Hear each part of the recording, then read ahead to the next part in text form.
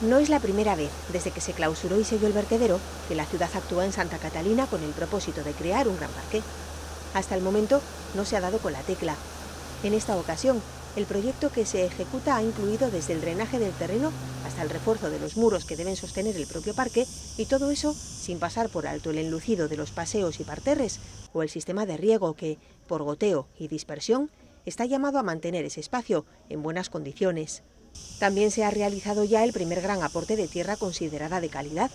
Hasta noviembre, cuando está previsto que termine la obra, la empresa que ejecuta el proyecto rematará la red de riego y realizará otro aporte de tierra, además de una capa vegetal y nutrientes con los que abonar el terreno que, entre septiembre y octubre, será sembrado con semillas y vestido con especies arbóreas ya consolidadas en la parte menos ventosa.